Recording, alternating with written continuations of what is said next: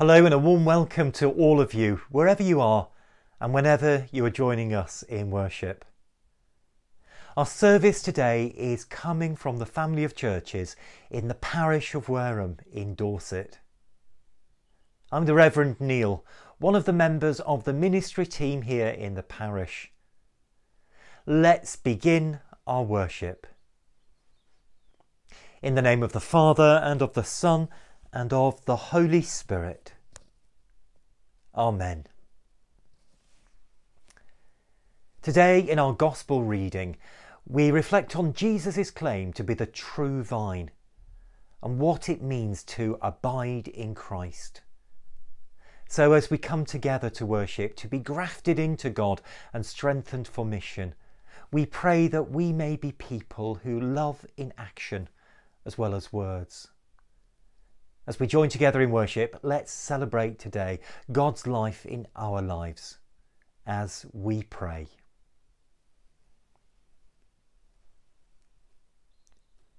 Loving God, may this moment be to us a time of blessing, a time to pause, to thank you for all the good things you give us, to delight in your goodness around us Open our hearts and minds to your presence, that we may be a blessing to all those around us. Through Jesus Christ our Lord. Amen. We sing our opening hymn, Lord of all hopefulness, Lord of all joy.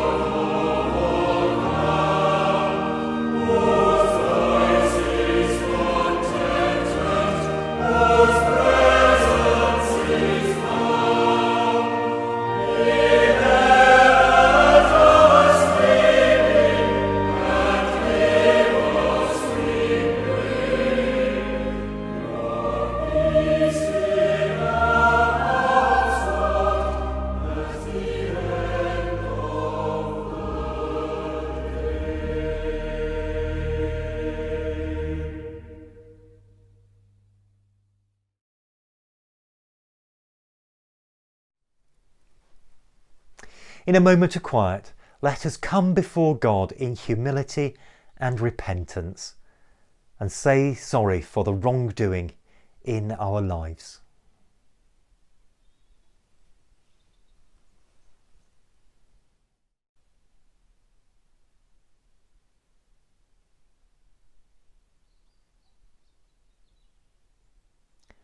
Most merciful God, Father of our Lord Jesus Christ, we confess that we have sinned in thought, word, and deed. We have not loved you with, with our whole heart. We have not loved our neighbours as ourselves.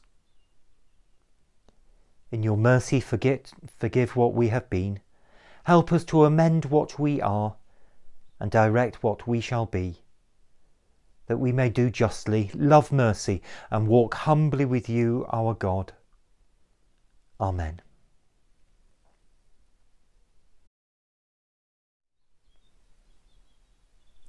A prayer for this fifth Sunday of Easter. God of deep soil and luxuriant growth, you call us from our shallow selves to find our depth in you. May we abide in Him alone, who can teach us who we are, through Jesus Christ, the true vine. Amen. Our first reading is from the New Testament and from the Acts of the Apostles, and is read by Mary. The reading is from Acts chapter 8, verses 26 to 40. Philip and the Ethiopian. Now an angel of the Lord said to Philip, Go south to the road, the desert road, that goes down from Jerusalem to Gaza. So he started out, and on his way he met an Ethiopian eunuch, an important official in charge of all the treasury of the Kandake, which means Queen of the Ethiopians. This man had gone to Jerusalem to worship, and on his way home was sitting in his chariot reading the book of Isaiah the prophet. The Spirit told Philip, Go to that chariot and stay near it. Then Philip ran up to the chariot and heard the man reading Isaiah the prophet. Do you understand what you are reading? Philip asked.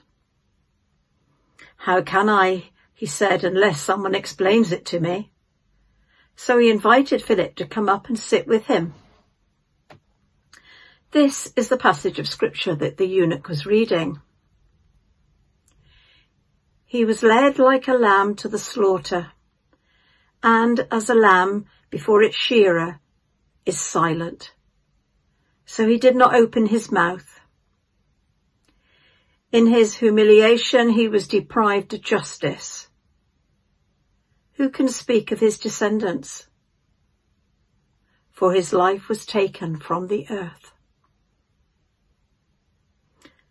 The eunuch asked Philip, Tell me please, who is the prophet talking about? Himself or someone else? And then Philip began with that very passage of scripture and told him the good news about Jesus. As they travelled along the road, they came to some water, and the eunuch said, Look, here is water. What can stand in the way of my being baptized? And he gave orders to stop the chariot. Then both Philip and the eunuch went down into the water, and Philip baptized him. When they came up out of the water, the Spirit of the Lord suddenly took Philip away, and the eunuch did not see him again, but went on his way rejoicing. Philip, however, it appeared, appeared at Azotus and travelled about, preaching the gospel in all the towns until he reached Caesarea. This is the word of the Lord. Thanks be to God.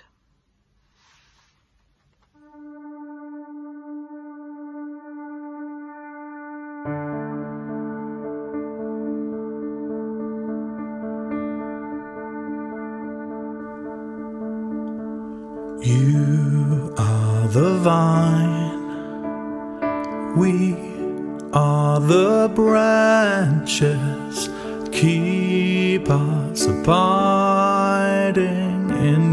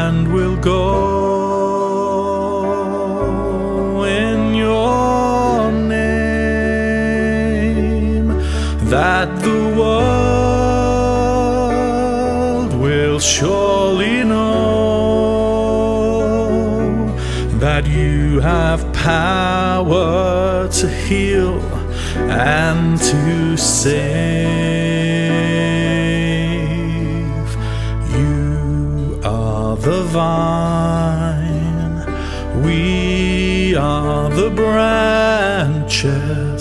Keep us abiding in you. You are the vine, we are the branches.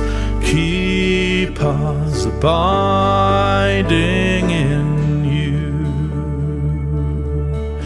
Then we'll grow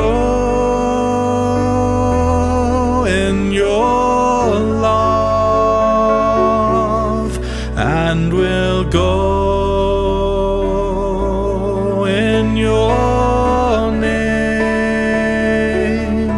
that the world will surely know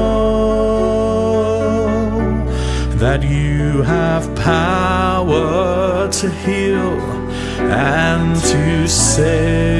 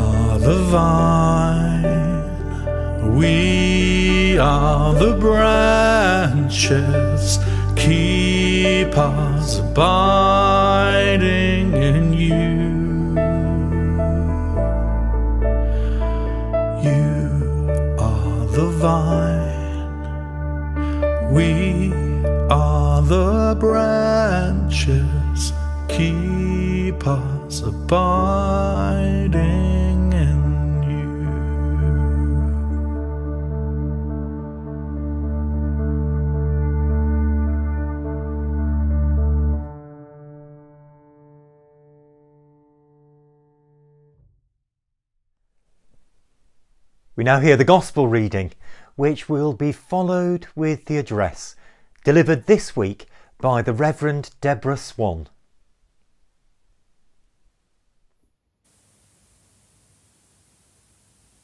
The Gospel reading is taken from John chapter 15, verses 1 to 8.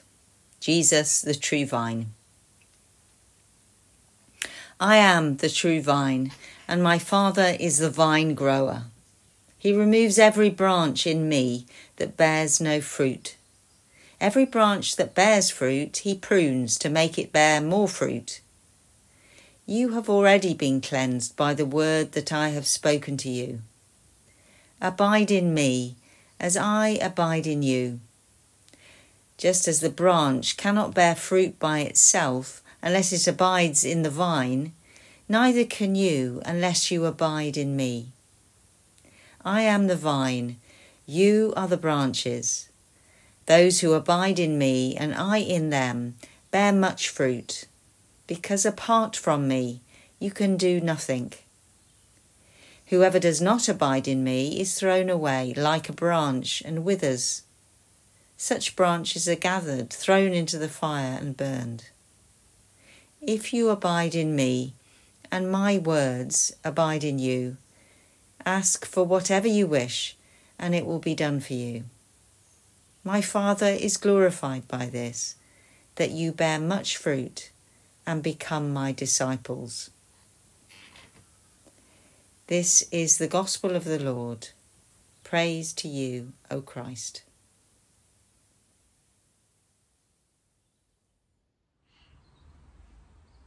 More refugees and asylum seekers have died trying to cross the channel this week, and there is ongoing disagreement regarding the government's plan to send migrants to Rwanda.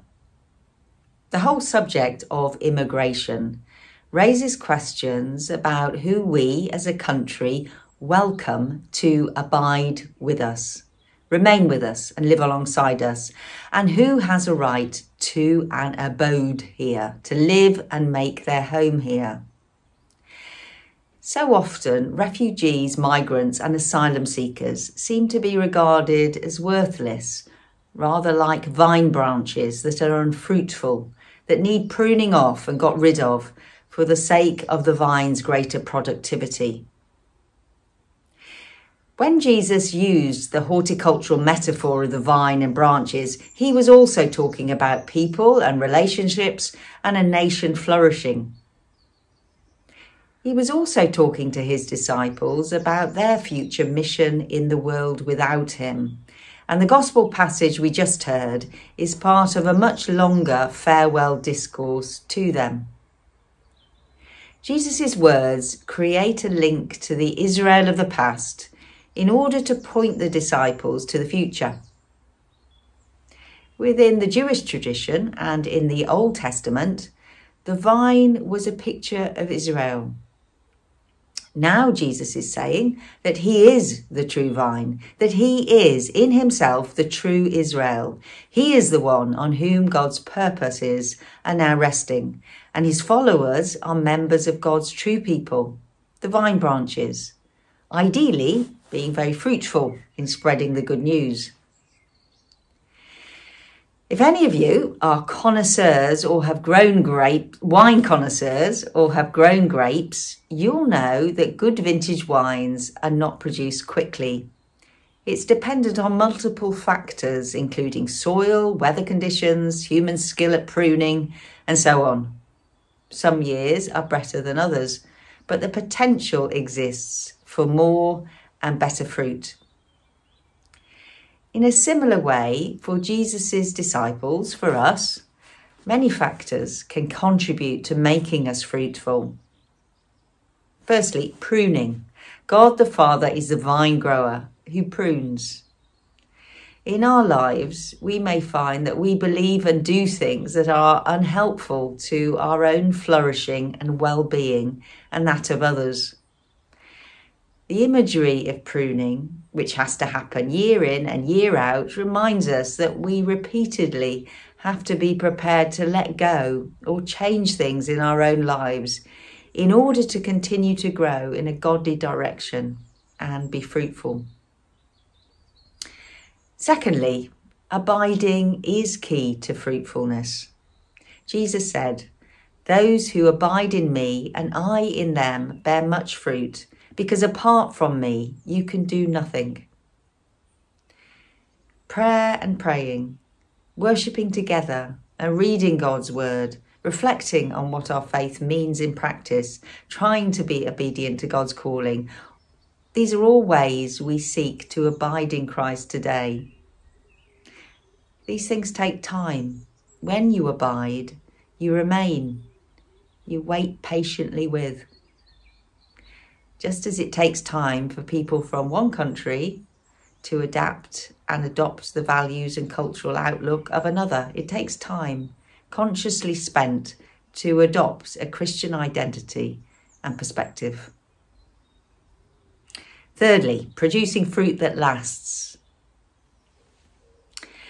It's through the Holy Spirit in us and praying for the Spirit's help in our lives that we can begin to produce the fruit that lasts, the fruit that is summed up by the word love. Love in action, practical action that can be seen by others is the fruit of the Spirit. And it involves being kind and generous and treating others with compassion and working for justice. That's why church leaders and Christians across the world, amongst others, involve themselves in social and political issues and global concerns, whether it's to do with Gaza and South Sudan, Christian aid, immigration issues, or community food banks. These are our concern too if we're committed to God's mission of being fruitful and sharing the good news of life in all its fullness for all people. Let's pray that the church, global and local, may offer a place, a home, an abode to all kinds and types of people where they feel they can abide and belong, whatever their immigration status or background.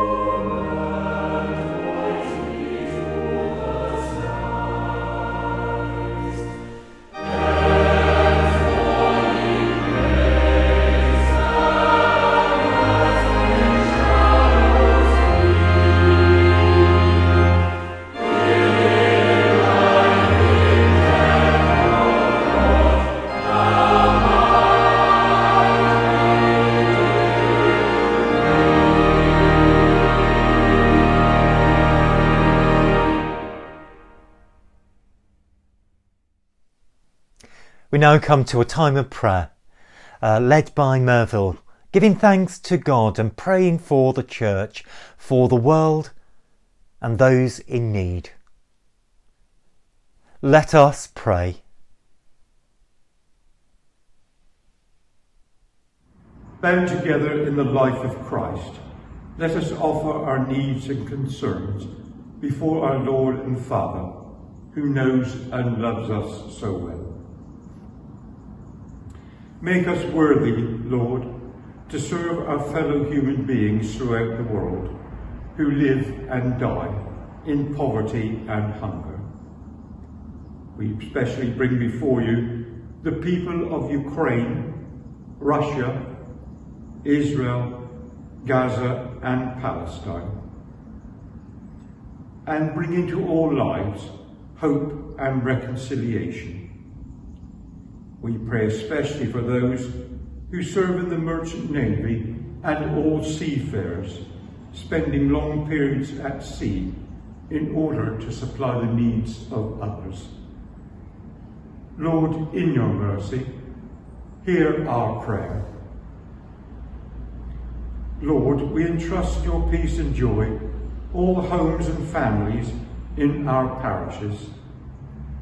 In a moment of silence, let us offer our own thoughts and prayers for our own families.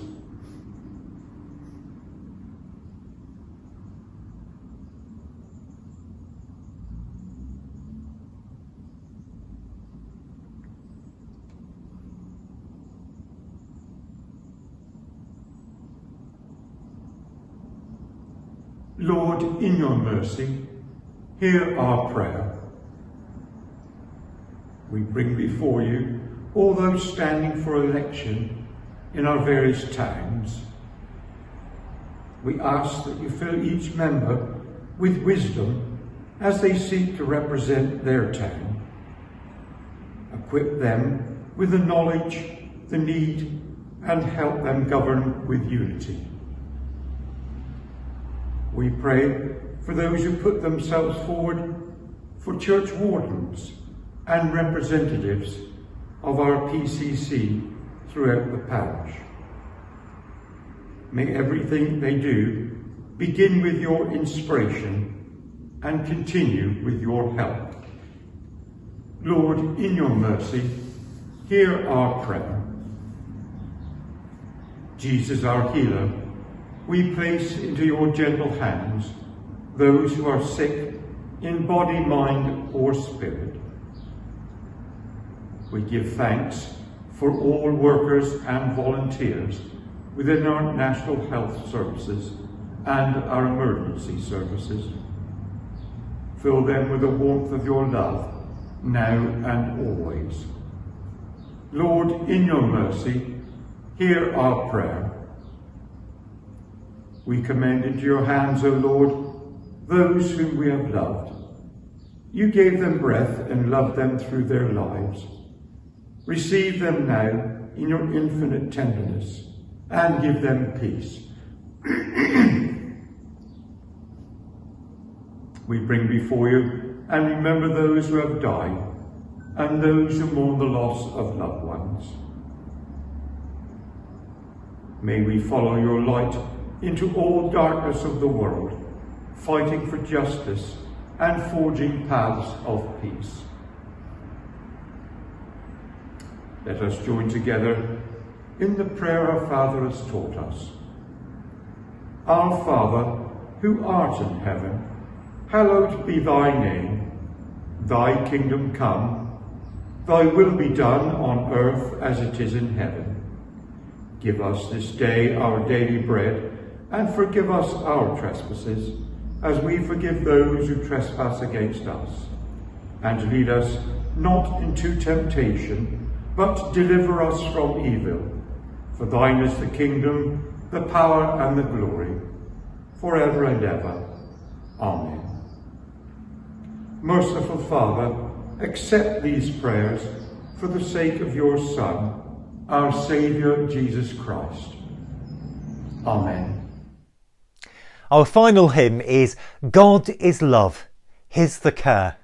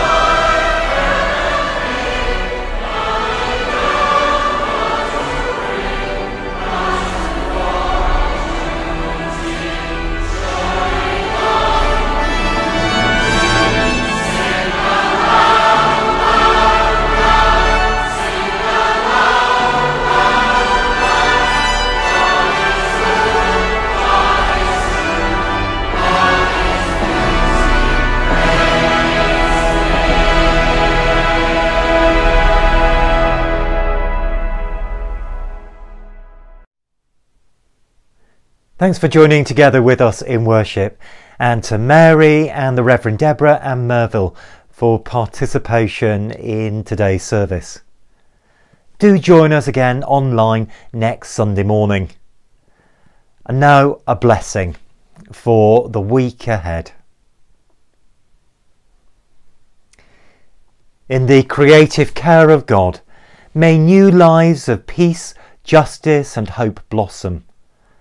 May the Spirit hold us in the presence of Jesus and make us seekers of God's kingdom. And the blessing of God Almighty, the Father, the Son, and the Holy Spirit be with you this day and always. Amen. Go in peace to love and serve the Lord. In the name of Christ. Amen.